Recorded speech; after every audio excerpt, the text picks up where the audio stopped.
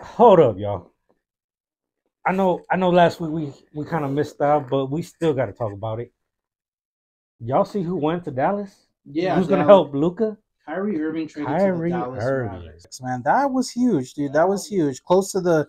Um, I know it was a little bit earlier than the Kevin Durant trade, but that was still Yeah. huge, 100. percent I've been saying it for a long time. Yeah. I think what Dallas needed was a secondary star for Luka. Luka's not going to be able to win it just by himself. I think the Mavericks were stuck in that mentality that they had Dirk at that point in time in the 2010, 2011 championship, Yeah. and they just surrounded him with all former All Stars or semi All Stars Yeah, and a good quad, right? Which don't get me wrong, I, I think um, it worked for the Mavericks. I just don't think in today's NBA that's not going to work anymore, given the fact that everyone wants to go and create their own super team, and given that most of the championship runs that have been done in the last decade always have at least two stars in them, uh, two guys that can score the rock over twenty points. right. Yeah. But no, definitely, dude, it's going to be exciting. I want to see what Luka does with Kyrie. I want to see what Kyrie does with Luka.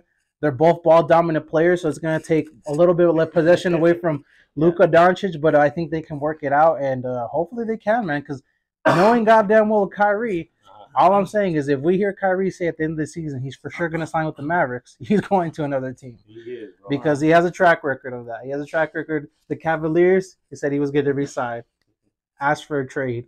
Celtics said he was going to resign, asked for a trade. Uh, with the Nets, said he can't leave Kevin Durant there by himself, asked for a trade. So it's gonna be interesting, man. Man has a record.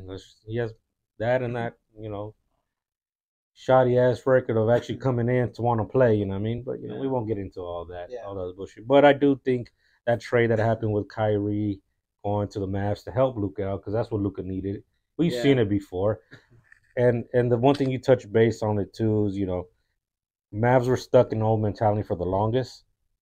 100%. Just having one one star and then put semi like how, Has- a good yeah, roster a good roster him, on him, but- bench. but they never put anybody star. that backs them up I don't get me completely. I mean, I mean, Jason Terry that last that 2011 finals was shooting the threes like nothing, like crazy, looking like Curry out there before Curry. But No, yeah, definitely. But the funny thing too is that you know you mentioned it too. The both Luke and Kyrie are ball dominant, ball and, dominant players. and I don't know if you caught uh this last game they had against the I believe it was the Grizzlies. No, no, what, Grizzlies, Kings, one? one, oh no, the Kings. You're right, Kings. Sorry. course. they were passing the ball back and forth, trying to give each other the last shot. They couldn't decide who was going to make the final Yeah, shot. I, I like that though, man, because Yeah. there's no ego there. It's not like Yeah. Kyrie was like, "Give me the ball and I'm gonna shoot it." It wasn't Luka, "Give me the ball, I'm gonna shoot it." If the fact that they were passing it to each other Back and go just goes that they trust another one enough that to take another Right. shot, and their ego is like, "Hey, you take it. It's cool if you take it. Right. I don't care. Oh, it's cool if you take it. I don't Yeah. care."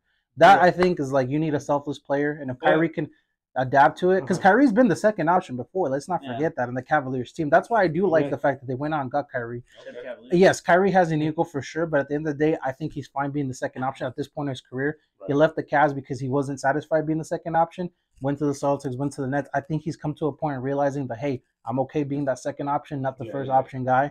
Going to Dallas, I think is going to be a perfect fit for him. Not We'll unless you what know, not unless you know how to lock both of them down, which is, we Yeah. saw the Kings knew how to get both of them. Yeah. And there's the blueprint for the rest of the NBA. You know what I mean? Especially my sons. I want another shit happen like last year. What do you, think, man? Um, he's going to be a great fit for Dallas. I do, and and the reason why is because I know that eventually they're gonna learn how to stop um, Luka if he was by himself at all times. Like he didn't have anyone that he can literally like pass the ball to and like just run it in. Interesting. And and now there's gonna be a, a really big threat, even if even if um, Irving stays out, just to give uh, Luka the ball like once he's in and makes a run, because Luka's always gonna find space. Yeah. That's that's what he's good at. He he can easily go in and, and make a two point. Um, and it's a it's almost like a guaranteed two point as soon as he gets the ball, especially if you if you find space. So if there's you don't think so? No, no, it is. I just hated the fact that it does happen like Yeah. that. So and, and even great even when they're like yeah, and even when they're like pressing him hard, he still gets it. He still gets it in. So now if there's someone with such a caliber like him, Yeah. distracting one or two players, he's gonna create so much space for him that it's just gonna be like done deal. Um, maybe one team might be um, like okay at defending them, but it's just gonna be they're gonna be so dedicated in defending. That it's just gonna be so hard for them to then go and score points. I agree. Interesting. I do think though one thing that the Dallas Mavericks have to do is load up their load up their bench because I Yeah. don't think they're going to win it all this year. I still think that the Warriors would have a really great chance of pushing out of the West. Yeah. Um, the Nuggets don't sleep on the Nuggets. People still forget about what Jokic is doing out there, but I still think they have to build up a really good bench around that Mavs team. And then I personally believe if they build up a good bench, they're going to be one of the scariest teams in the West. I mean, still you got the Suns out there with Kevin Durant, but we'll see what happens this offseason the way, whether he stays or not. Uh, you never know, but Who would you put in the bench for him? For Luka. well, I don't even know who bench players they still have at this point. I know they traded Spencer Dinwiddie, which is kind of funny because I mean the Brooklyn Nets got rid of him and then they got him back. Yeah, hundred percent. But um, I don't know who their backup point guard is right now. I know they lost Jalen Brunson, but uh, I'm not sure who their backup point guard is. I'm not really too familiar with their bench, so I know if I'm not mistaken, Norman Powell's still on the on the Mavericks team. Yeah. Uh, Finn Smith, something Doris Finney Smith. I don't know, man. Maybe so. What I'm saying with the Mavericks, that, that's that's my biggest point. Yeah, like, here's yeah. my point. Who do the Mavericks have behind those two? I think if you build a good bench, you have a good run for the Bro, championship. this is my team. This is one who's on the bench. okay, I'll be honest. But I know, I know if the Mavs get into a good rhythm, and trust me, they will. believe in you, Luka. Well, he believes in you. I, I, I need you to lose. Okay, I need you to lose, especially going against my sons. I need y'all to lose. Look, all I'm saying is this: Luka has the potential to be the greatest NBA player of all time. And that's a He has the potential. I'm not saying he is going to be. I'm not saying he he can whatever the case may be. I'm saying he has the potential to be the greatest of all time because the fact of what he's doing in his first four, I think, 50 year, five years in the league that he's been in, Yeah.